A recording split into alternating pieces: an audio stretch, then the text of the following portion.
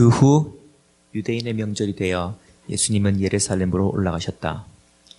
예루살렘 양문 곁에는 히브리 말로 베데스라는 못이 있고 그 둘레에는 행각 다섯 채가 서 있었다. 이 행각에는 많은 환자, 소경, 절뚝박이, 말이 손발이 마비된 사람들이 질비하게 누워 있었다. 그 못에는 가끔 천사가 내려와 물을 휘저 놓고 나는데 물을 휘저 놓은 다음에 제일 먼저 들어간 사람은 무슨 병이든지 다 나았다. 그런데 거기에 38년 동안 앓고 있는 환자가 있었다. 예수님은 그가 누워 있는 것을 보시자 병이 벌써 오래된 줄 아시고 그에게 내가 낫고 싶으냐 하고 물으셨다. 그러자 그 환자는 선생님, 물이 움직일 때 나를 못에 넣어주는 사람이 없어 내가 가는 동안에 다른 사람이 먼저 들어갑니다. 하고 대답하였다.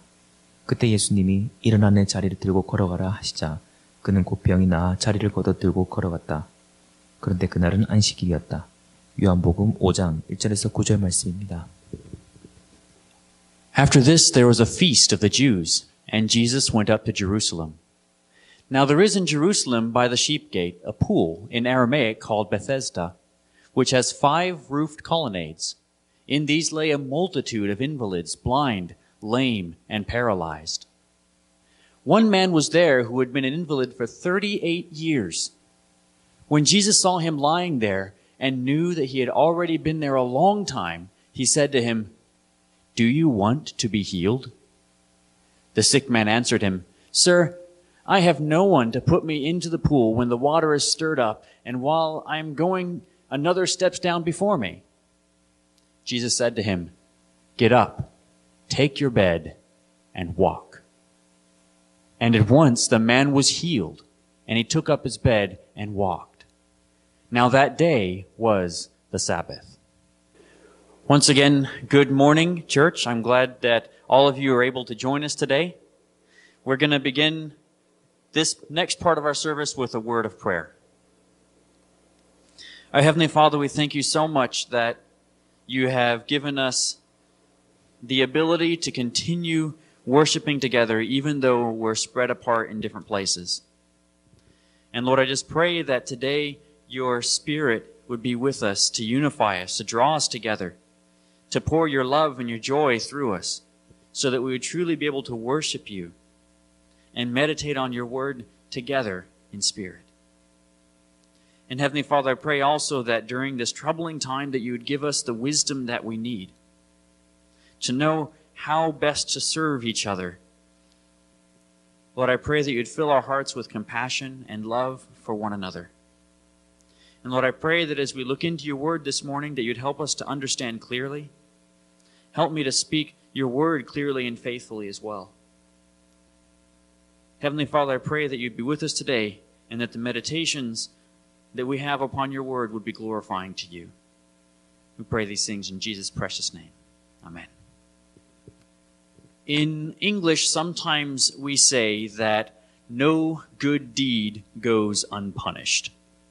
Now, I know that's kind of a pessimistic thing to say, uh, but it's something that we tend to say that whenever someone has done something that they, that they thought was going to be a good thing and people were going to be happy about it, but people were not happy about it at all. Um, the reason I, I mention that phrase is that it seems to be the case for Jesus in John chapter 5. In John chapter 5, the story begins with a man whose physical condition made him so weak that he was unable to move well on his own. And so he was, the day that he met Jesus, he was laying at a pool, as we've just read in the scriptures, next to one of the gates in Jerusalem because there was this legend about people being healed in that water. Well, Jesus found the man there and asked him an astonishing question. He said, Do you want to be healed? You might be thinking, well, what kind of question is that? Well, I think what Jesus was doing here was kind of in a roundabout way, um, kind of preaching the gospel to this man because Jesus is the only one who can heal him. It's not going his healing is not going to come from this pool when the water gets stirred up. It's going to come from God. So the man answered him in the way that he understood to answer that no one was helping him get into that healing pool. Well, Jesus didn't bring him into that pool either. Instead, the man had to be shown that Jesus alone had that power. And so Jesus says to him, Get up, take your bed, and walk. And immediately the man's weakness left him, and he became strong and healthy, and he was able to stand up and pick up his bed and go on his way. He looked for Jesus, but Jesus was already already gone. And the end of verse 9 tells us that this event happened on the Sabbath, on the day for rest.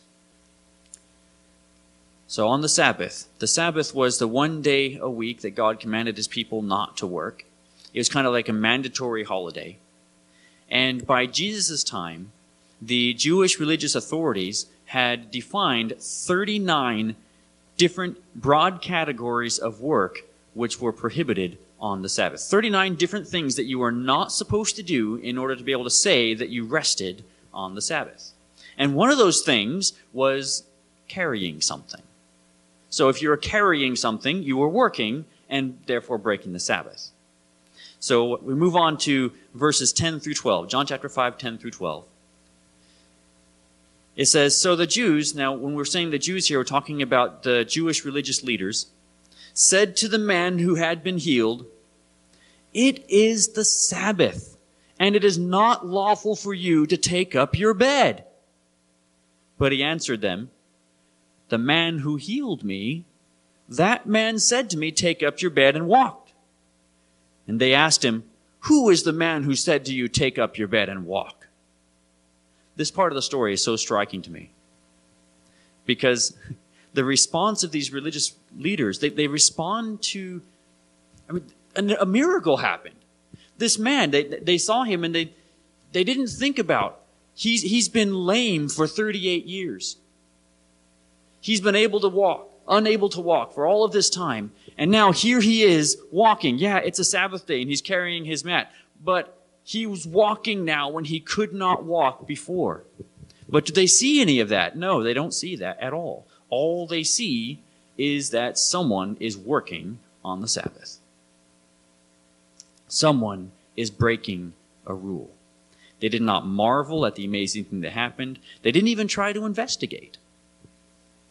No, all they could see was that someone had told this man to carry his bed on the Sabbath. And such a rule breaker had to be stopped. Now, later on, Jesus caught up with the man at the temple and told him to sin no more, that nothing worse may happen to you. Now, the man's sin was a bigger problem than his illness, and that's what Jesus is talking about here the, the worst thing that could happen to the, man, to the man was not another round of sickness. The worst thing that could happen would be to fall under the judgment of God if he persisted in sin. And later on, as we read through this passage, we're going to find out more about, about that because, well, Jesus is the one who has authority to judge. The man promptly told the Jewish leaders about Jesus because they'd asked him to. Um, I don't know what his motives were, but I think um, I like to think that he was just being an honest witness. They asked me who told me to take up my, my bed and walk. Well, he came and talked to me. I'm going to go and tell them. So, when confronted, though, Jesus answered them in reference to this Sabbath law. It says, In this way, the Jews, this is verses 16 to 18, the Jews were persecuting Jesus because he was doing these things on the Sabbath. But Jesus answered them, My Father is working until now, and I am working. This was why the Jews were seeking all the more to kill him, because not only was he breaking the Sabbath, but he was even calling God his own Father, making himself equal with God. Amazing, isn't it? Instead of thinking through the connection of this miraculous thing that had happened, and the teacher who claimed that God was his Father, the teacher who told this lame man after 38 years to stand up and walk. What is their response to Jesus? Well, they want to kill him now because he's not just breaking the Sabbath, now he's blaspheming. The Jewish leaders' problem was that they were so obsessed with their strict interpretation of the law that they failed to see who that law pointed to. Jesus, the Messiah, the Son of God, was standing right in front of them, and they accused him of breaking the Sabbath? He made the Sabbath. They accused him of blasphemy. He is who he says he is. But this is where a very important question, I think, is raised for us today. And this is, this is the big question that I want us to, to ponder and think about as we move through the rest of this sermon. That is, how do we avoid that mistake? How do we diligently obey God as we should do without losing sight of Christ? It's so easy for us to lean too far in one direction or another. And what I mean is that there are, there are Christians today who are so obsessed with keeping the rules, of, of being a good Christian, that they overlook their relationship with Jesus. When that happens, we can, we can have this misplaced confidence in our own holiness. It can cause us to look down on other people. I think even worse than that, though, this, this kind of over focus on the law and, and, uh, and doing good and, and making sure we follow all the rules while we overlook Jesus who saved us, it can lead a lot of Christians to despair when we realize that we're not living up to God's standards despite our best efforts. I think the other way that people lean toward is ignoring God's rules altogether, ignoring the law altogether. And this is also problematic because by doing so, we ignore the very thing that points us to Jesus.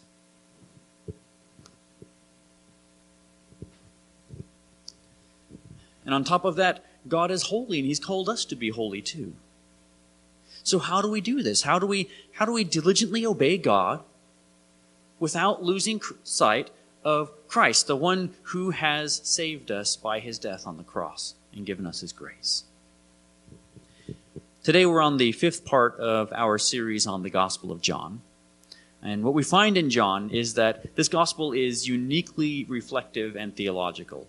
So as, as we move through this gospel, we find that, that there are these stories and of the, these accounts of what Jesus did and then there's a lot more of Jesus' words, his, dialogue regarding these things. And what that gives us is a deeper insight into what's going on below the surface, behind the curtain.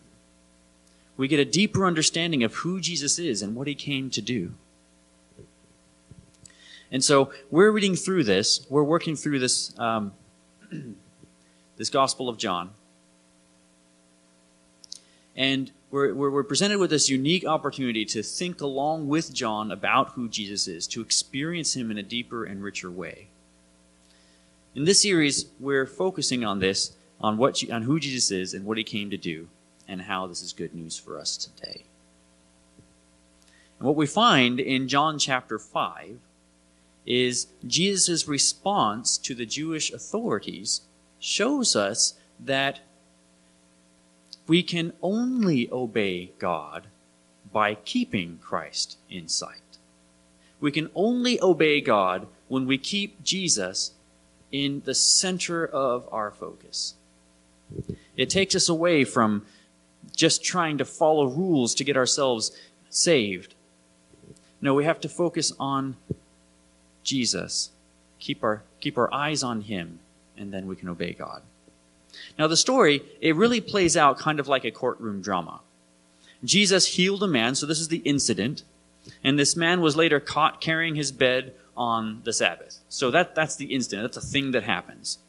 Now, the investigation of this incident by the Jewish authorities led to the discovery that Jesus not only instructed him to carry his bed, but justified himself by calling God his Father. And so these authorities now accuse Jesus of breaking the Sabbath and of blasphemy. And the rest of the chapter is Jesus' defense. He defends himself by arguing his case, by calling witnesses, and then by making a counter accusation.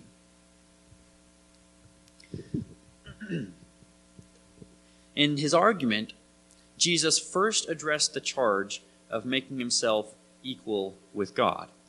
And as he does this, what we learn from this is that eternal life is received only by faith in the Son of God. Okay, so let's have a look now at verses 19 to 24.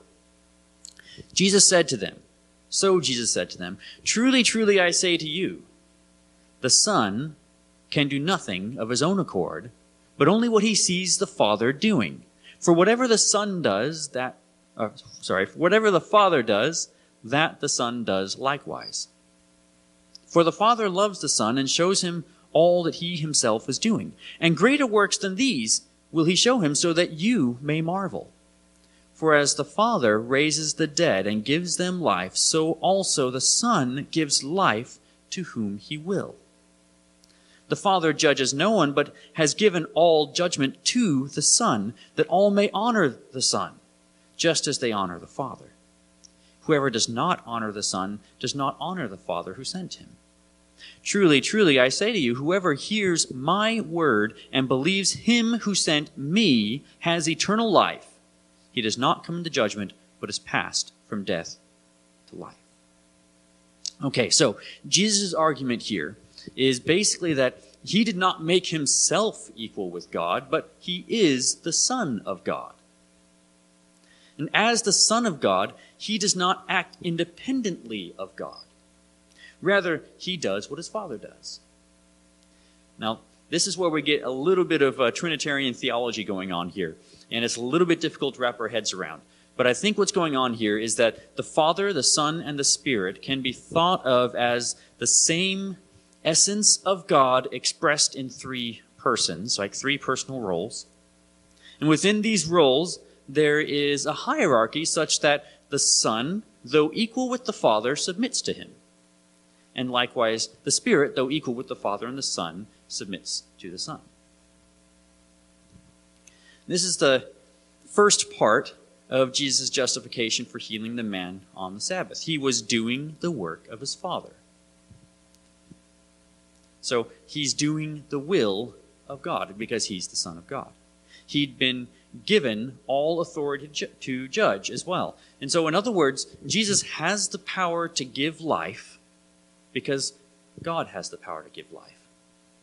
And he has the authority to, ch- to choose whom to give it to and when because as the Son of God, he has been given that authority. And so then in the following verses, Jesus expands this argument to show his authority even in the final judgment. So in, in, in before he's, he's telling them, well, this is why I healed the man, because I have the authority to give this man life. I'm doing what my father does. And now he's going to expand that out. Verses 25 to 29. Truly, truly, I say to you, an hour is coming and is now here when, I love this part, when the dead will hear the voice of the Son of God, and those who hear will live. For as the Father has life in himself, so he has granted the Son also to have life in himself. And he has given him authority to execute judgment because he is the Son of Man. Do not marvel at this, for an hour is coming when all who are in the tombs will hear his voice and come out. Those who have done good to the resurrection of life, and those who have done evil to the resurrection of judgment. As the Son of God, Jesus has life in himself, and he has all authority over judgment. As the Son of Man, Jesus has received authority to call humanity out of the grave and carry out that judgment. So I think what we learn from this is that we, we actually we cannot obey God without our attention focused on who Jesus is. He's the one who has the authority to give us life or to judge us. It's His word that we have to hear and believe if we want to receive eternal life. And so, if Jesus wants to heal someone on the Sabbath day and tell that man to get up and pick his bed and walk, he can do that. That's his authority. And, and it's that Son of God that we have to look to to receive eternal life. So it's Jesus that we have to be focused on in order to obey God. Because that was the big question, right? The, the, the Jewish authorities were against him because they thought he wasn't obeying God. Now, in the second part of his defense, Jesus called three witnesses to prove his claim to be the Son of God. And what we're going to find here then is that prophets and miracles and scriptures are all meant to, all designed to point towards that Son of God, to point towards Jesus. this is uh, verses 31 to 40, a little bit long. If I alone bear witness about myself, my testimony is not deemed true. He's, he's talking in a courtroom sort of way here, right? So you, if you have one witness to something, that's not usually good enough to stand up in court, especially in Jewish law. Um, you needed two witnesses or more. There is another who bears witness about me, and I know that the testimony that he bears about me is true. You sent to John, and he has borne witness to the truth. Not that the testimony that I receive is from man, but I say these things so that you may be saved. These are his accusers, right? And he's saying these to them so that they may be saved. He, he, verse 35, was a burning and shining lamp, and you were willing to rejoice for a while in his light. But the testimony that I have is greater than that of John. For the works that the Father has given me to accomplish, the very works that I am doing, bear witness about me that the Father has sent me. So you catch that? That's, that's two witnesses so far. John the Baptist and the mighty works that he's doing. His voice you have never heard, his form you have never seen, and you do not have his word abiding in you, for you do not believe the one whom he has sent. You search the scriptures because you think that in them you have eternal life, and it is they that bear witness about me, third witness. Yet you refuse to come to me that you may have life. so Jesus starts here with the testimony of John the Baptist. And, and we read about that in the first chapter of, of John's Gospel. John the Baptist came out and testified, and, and he kept proclaiming whenever he saw Jesus, Behold, the Lamb of God who takes away the sins of the world. Now, Jesus started with John the Baptist because most of the people at that time actually did consider him to be a prophet. They, they believed that he was a real prophet. He was actually speaking the words of God. And so then, if the Jewish authorities in this situation, if they denied that Jesus is the Son of God, they would also have to deny that John was a prophet. And that would be difficult because even some of the Pharisees went down to John to get baptized. So Jesus calls John the Baptist as a witness. Secondly, Jesus calls on the testimony of the mighty works that he's been doing. That's, that's the miracles. So when he turned water into, into wine, when he healed the official son, and now when he's, he's taken this lame man and made him able, able to walk. And there's other miracles as well that aren't recorded, recorded in John's gospel that we see elsewhere. As Nicodemus said in chapter 3, he said, We know that you are a teacher come from God, for no one can do these signs that you do unless God is with him. Jesus could not have made this man who had been lame for 38 years stand up and walk again unless God was working through him. And so Jesus takes this a step further by saying that God himself is now bearing witness to Jesus through the amazing things that he did. Look, this is showing you that God approves of me. And specifically, in this case, Jesus' healing of the man at the pool clearly testified that he is the Son of God. So by accusing him, instead of recognizing the testimony of God about his Son, these religious leaders were showing that they did not really know God.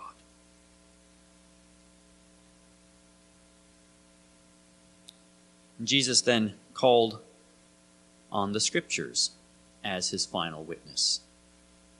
This is kind of like a, a surprise witness at the end of the courtroom drama because the religious leaders made it their business to know every line of scripture. They believed that this was the way to life. And in part, they were right. In order to get to in order to understand God's character, in order to come into his presence, in order to in order to know the one whom he was sending into the world, they had to go through the scriptures. How ironic Jesus says, that they would not receive life from the one whom the scriptures pointed to. And this is where we also start to hear the beginning of Jesus' counter accusation of these religious leaders. Verses 41 to 43. I do not receive glory from people, but I know that you do not have the love of God within you. I have come in my Father's name, and you did not receive me. If another comes in his own name, you will receive him. How can you believe when you receive glory from one another and do not seek the glory that comes from the only God? Do not think that I will accuse you to the Father. There is one who accuses you, Moses, on whom you have set your hope. If you believed Moses, you would believe me, for he wrote of me. But if you do not believe his writings, how will you believe my words? The accusation is that they neither have God's word nor God's love in them. And I think that's a really it's really important for us to think about that. Because they, they saw this man who had been lame for 38 years, carrying his bed, and all they could think about was that he broke the Sabbath rules. Where's the love? Where's the compassion? See, if, they, if, if God's word was in them, they would know that God wrote all of his laws. He gave all of his laws through Moses because of his, his steadfast love. That's what God says of himself when he's passing in front of Moses in, in on that time on top of the mountaintop. He calls out his own name, the Lord, the Lord, with his steadfast love to thousands of generations. That's who God is. But they missed that. They were concerned only with the rules and regulations. They missed the character of God, the love of God that was shown through these. The purpose of the Sabbath not, was not to, to catch people out and make sure they were following the rules. The purpose of the Sabbath was to give people rest. And now this man, he finally had rest from his illness. They did not have God's love in them. They failed to receive the one whom God had sent. They sought glory from people rather than glory, rather than the glory of God. That is, they wanted people to look at them and say, Look, I see, you, see how, how well I'm keeping all the rules. See how holy I am. But when the glory of God is standing there in front of them, they're not seeking this at all. Their failure to believe in Jesus betrayed their failure to believe the scriptures. Their legalism had led them away from life in Christ instead of toward it. So let's come back to our initial question. How do we obey God without losing sight of Christ? The answer to that, I think, begins with realizing that life is only received by faith in Jesus. That's what he says back in, back in this passage. Whoever believes in me will have eternal life. We're never going to gain life by keeping or enforcing rules. We have to realize, we also have to realize that the value of Scripture is that it reveals God's character to us. And its purpose is to point us to Christ. so when, when we're looking at all the different rules that we have to follow, which are important, it's very important to try to try to do God's will, try to live the way that He wants us to live. But we can't do it for the wrong reason. We can't do it just for the sake of the rules themselves. We do it because this is God's character.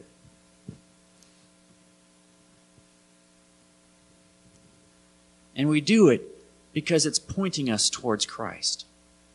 We cannot obey God unless we're focused on Jesus. Now, the irony is that so often we get stuck on the very things that are testifying to the glory of Jesus. So often, Christians will glorify a prophet or a preacher or a theologian and forget about Christ, who's, who these witnesses are desperately trying to show us. We, we, we choose our favorite author, we choose our favorite preacher, and we stand in awe of them instead of in awe of Christ. We get caught up sometimes. Some of us get caught up in the awe of, of signs and wonders. And so then we, we start to put our hope in my miracle. Completely forgetting that the whole purpose of any miracle is to bear witness to the glory of Christ, to inspire faith in Jesus. And then, seemingly on the opposite end of, that spectrum, and I think most ironic of all, are those among us who end up worshiping Scripture instead of Jesus. Now, nobody thinks about it like that. But whenever we become more concerned with splitting theological hairs than the glory of God, then we've misunderstood the purpose of Scripture. Whenever we become obsessed with keeping rules and trying to be good Christians, we've lost sight of our need for the grace that only comes by faith in Jesus. So, what are we to do practically? Well, I would say listen to and read the great Christian teachers. That's good.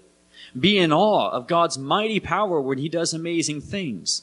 Search and meditate on the scriptures. Learn to obey and to live the way that God wants us to live. But look where all these witnesses are pointing. Because life is not found in the prophets, life is not found in the miracles or even in Scripture. Life is found in Christ. Believe Scripture because it drives us to Jesus. Believe Jesus because He alone gives us eternal life. We can only truly obey God if our whole focus is on the one whom He has sent, Jesus, who died in our place, because the fact is we can't obey Scripture as well as we want to. Every single one of us, if we're honest with ourselves, if we're honest with ourselves, we have to recognize and realize that, okay, even if I try to keep all the rules, I'm going to fail. I can't obey God without focus on Jesus. And particularly if you think about this in a broad theological sort of way, there is now, since Jesus has come, there is now only one command. That if we fail to obey that one command, we'll find ourselves on the wrong end of God's judgment. And that is the command to believe in the one whom he has sent. kind of a paradigm shift, isn't it? So then, what, what sin can send me to hell? Failing to believe in Jesus. Does that mean that I can, I can just live however I want now as long as I've got my faith? No, absolutely not. Because he's changing us and he's making us into the people he wants us to be. We obey God by focusing and having our faith set firmly in Jesus. Let's pray. Heavenly Father, we thank you so much that you reveal yourself to us in your word. We thank you so much that you show us the way to salvation in your word. And we thank you so much that in your word you, you teach us how to honor you, how to serve you, and how to obey you. But Heavenly Father, I just pray that, that every one of us, as we search your word, as we think about it, as we strive to live the way that you want us to live, that we would always do so with Christ in focus. Knowing that apart from faith in Him, we are lost. Heavenly Father, I pray that you would fill us with the joy of knowing you. That as we seek you, as we seek you, that we would learn your character. We would learn your love. And through your Spirit, that we'd be able to apply your loving character in every aspect of our lives. Heavenly Father, I pray these things in Jesus' name.